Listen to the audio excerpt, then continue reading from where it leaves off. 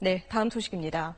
올 상반기 출생아 수가 역대 최저치를 기록했습니다. 올해 초 이미 저출산 계획을 내놨던 정부는 난임 시술을 전면 지원하는 대책을 긴급히 내놨습니다.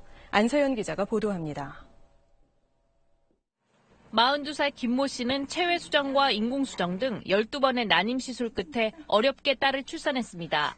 5천만 원 가까운 큰 돈이 들었습니다.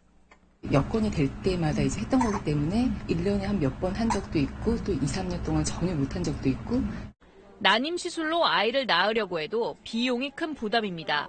감당할 수 있을까 그런 것도 되게 고민을 많이 했고 저희도 횟수를 사실 좀 정리해놓고 시작을 했거든요.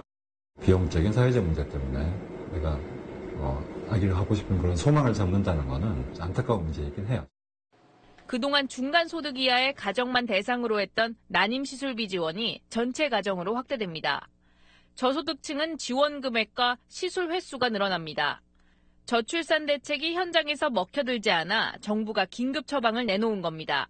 올 들어 5월까지 출생아 수는 지난해보다 만 명이나 줄어 관련 통계가 나온 2000년 이후 최저치를 기록했습니다. 아이를 낳고 싶어도 시술 비용 문제로 낳지 못하는 가정이 없도록 하겠다며 복지부 장관이 저출산 극복에 동참해달라고 호소문까지 발표했습니다. 작년 출생아 100명 중 4명이 난임 시술 지원을 통해 태어났습니다.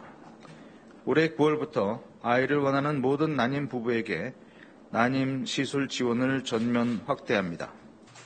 정부는 내년 출생아를 2만 명 이상 늘리겠다며 이번 대책의 이름도 2만 명 플러스 알파로 지었습니다.